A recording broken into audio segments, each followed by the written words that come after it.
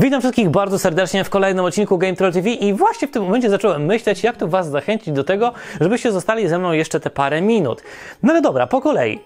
Dzisiaj będę zajmował się grą pod tytułem Klub Detektywów. Tak więc, jeśli spełniacie trzy warunki lub którykolwiek z tych trzech, czyli na przykład lubicie takie gry jak Dixit, ewentualnie Tajemnicze Domostwo, lub e, lubicie szukać w grze kogoś, kto ma jakąś tajemniczą rolę, na przykład, nie wiem, takie podobne tytuły to Avalon, e, Bank, ewentualnie Samurai Sword, tak? Lubicie? Czyli znowu będziemy szukali kogoś, kto spełnia jakąś tam inną rolę, lub ewentualnie lubicie dużo gadać nad grą, tylko nie po prostu o pierdołach, tylko po prostu gra od Was będzie tego wymagała. No, jeśli spełniacie jeden z tych trzech elementów, które wcześniej wymieniłem, to wydaje mi się, że Klub Detektywów może Was zainteresować. Jeśli tak, to herbata w dłoń i oglądamy. No to po kolei. Do gry wprowadza nas oczywiście instrukcja, która jest bardzo krótka i zrozumiała. To bardzo ważne. Lupeczki, którymi będziemy wytykać ludzi, to za chwilę zobaczycie o co chodzi. Paseczki, którymi będziecie oznaczali zagrane karty. A skoro o nich mowa, jest ich naprawdę dużo. I uwaga, i jak widzicie są prześliczne, świetnie wyrysowane, bardzo ciekawie, ładnie wyglądają. Będę jeszcze o nich mówił na zakończenie tego materiału, ale wow, na pierwszy rzut oka. Tuszę nawet powiedzieć, że dużo ładniejsze niż dwóch grach, które wymieniłem we wstępie do tego materiału. Mamy też punkty, bo te są potrzebne, żeby wygrać grę. Do tego 7 notatników i jeden ołóweczek, gdyż gra przeznaczona jest dla 8 graczy, jedna osoba zawsze nie będzie miała tego notatnika, ale spokojnie, nie musicie się martwić o lasy i akurat tutaj mówię bardzo poważnie, lub po prostu o to, że te notatniki Wam się skończą. Ponieważ do gry wydano aplikację i możecie stworzyć grę, na przykład niech to będzie gra prosta, niech na przykład będzie 4 gracze, wybieracie swój kolor biały i bardzo proszę, wszyscy inni gracze będą dopisywali swój kod, czyli będą chcieli dołączyć do gry, czyli po prostu uruchamiają tę aplikację poprzez dołącz i wpisują sobie ten numerek i proszę i dzięki temu mogą już korzystać z rozgrywki, nie używając notatników. Tyle wstępów i przeglądów komponentów, teraz zobaczmy o co w tej grze chodzi. I będę teraz Wam tłumaczył to na raty. Na samym początku musimy grę przygotować. To jest rozłożona rozgrywka na cztery osoby, czyli mamy takie elementy, które dostaje każdy gracz w wybranym przez siebie kolorze plus pasującą tego lunetkę. Każdy z graczy otrzymuje również 6 kart, musicie mi uwierzyć, to jest 6 kart, plus gracz, który jest aktywnym graczem, otrzymuje jeden ołóweczek, bo tylko tyle jest w zestawie i właściwie wystarczy i tyle notatników, ilu jest graczy minus 1. Resztę kart, jak również punkty kładziemy sobie gdzieś obok i proszę, przygotowaliśmy grę. Już. I teraz aktywny gracz bierze wszystkie swoje 6 kart i myśli i musi wymyśleć hasło. Z tym hasłem muszą zgadzać się dwie karty, przynajmniej u niego w głowie. U innych to może być problem, ale wybiera sobie dwie karty, żeby zgadzały się z hasłem. Załóżmy, że ja wybiorę te dwie karty. Hasło, które inteligentnie wymyśliłem, zapisuję na dwóch notesach na jednym dnie.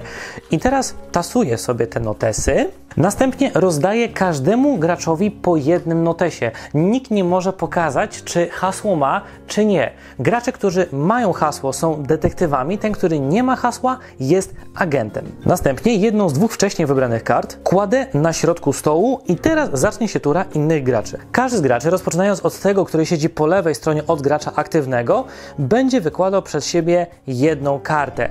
Detektywi starają się dopasować do tego, co mamy, ponieważ oni również znają hasło. Ten gracz, który jest agentem, no stara się zrobić wszystko, żeby się nie wydać, więc po prostu musi obserwować. Kiedy wszyscy zagrają po jednej karcie, gracz aktywny nie zagrywa karty, Gracz aktywny dokłada z wcześniej wybranych kart drugą kartę na środek stołu. Oczywiście po zagraniu jednej karty musimy dobrać kolejną kartę, tak żeby mieć 6 kart na ręku, więc może tak się zdarzyć, że będziemy zagrywali inną kartę. Tak czy inaczej kładziemy na środku stołu kolejną kartę. Potem, kiedy już to zrobimy, wszyscy inni gracze dokładają po kolejnej, drugiej już karcie do tych, które przed nimi leżą. Kiedy wszyscy gracze dołożą już swoją kartę, gracz, który jest graczem aktywnym, wyjawia, jakie było hasło. Czyli w tym przypadku było to hasło bardzo wymyślne, czyli Game Troll. I teraz on już się zamyka, czyli aktywny gracz, i wszyscy inni gracze, bez pokazywania ról, jakie mają, muszą wytłumaczyć się ze swoich kart. Czyli w klubie detektywów nie ma czegoś takiego jak hura na Juzia, trzeba będzie się tłumaczyć ze swoich decyzji. Kiedy już sobie podyskutujemy, następuje kolejna faza, czyli wskazywanie, kto jest agentem. Czyli każdy z graczy, nie można typować siebie, bierze swoją lubkę i będzie zaznaczał, kto według niego jest agentem. Czyli na przykład ty jesteś agentem, y, ty jesteś agentem i ty jesteś agentem, ponieważ twoje tłumaczenie zagranych kart było najbardziej miałkie. I teraz, kiedy gracze już się powytypują, gracz aktywny nie będzie teraz typował, odsłaniają swoje role.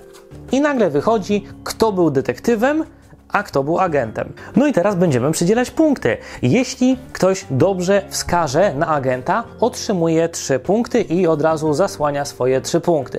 Jeśli na znaczniku agenta będzie tylko jeden znacznik lub w ogóle, on będzie dostawał aż 5 punktów i też będziemy zasłaniać.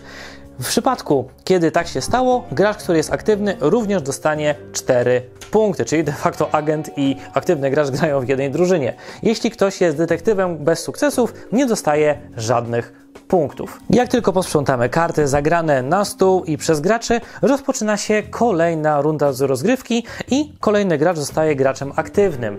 Jeśli gramy więcej niż 6 osób, będziemy tylko raz aktywnym graczem. Jeśli gramy w mniej niż 6 osób, każdy gracz będzie dwa razy aktywnym graczem.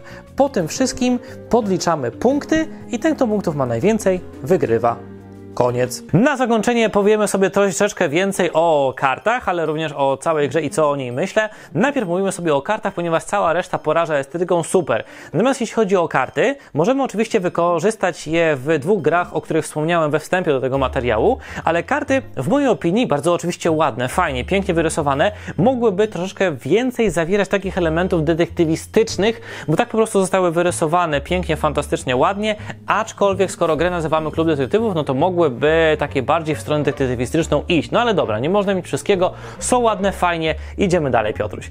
No i teraz tak, mamy grę, dzielimy się na poszczególne role i to jest bardzo fajnie w tej grze, że nie jesteśmy za bardzo e, świadomi, czy możliw, nie mamy możliwości przewidzieć, w, w której roli będziemy w, przy rozdawaniu tych e, notesów czy aplikacji, w zależności tam z czego będziemy korzystać. I to jest fajne, bo rzeczywiście nie mamy cały czas tego samego, co robimy tutaj, jak koń do stajni idzie, tutaj rzeczywiście mamy tą inną rolę. Fajnie, może być agentem, detektywem, czy właśnie osobą prowadzącą, super.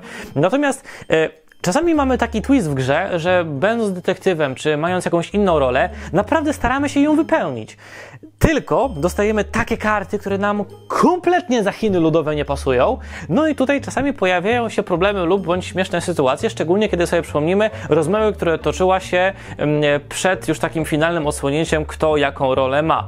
To czasami można powiedzieć, że jest upierdliwe, ale tak czy inaczej dodaje pewnego rodzaju smaczku do gry i mi mogę, muszę, mogę powiedzieć z pełnym absolutnie przekonaniem i czystym sumieniem, że mi gra się podobała. Bardzo lubię gry, które opierają się na takiej mechanice właśnie Dixito podobnej, tajemniczo domostwo podobnej. Tutaj dostaliśmy kolejną. Fajnie, że coś takiego Foxy mają w swoim portfolio. A jeśli Wy lubicie wcześniej wymienione gry, a przynajmniej przy Dixicie to jest kilka tysięcy ludzi pewnie w Polsce, no to spokojnie możecie iść szturmować sklepy, bo na pewno na czymś takim się nie zawiedziecie. A dostaniecie grę, w której będziecie mogli zgadywać coś i dostaniecie również taką rolę tajemniczą. Będziecie musieli kogoś znaleźć. To naprawdę jest fajne. To tyle na dzisiaj. Do następnego razu. Trzymajcie się. Hej!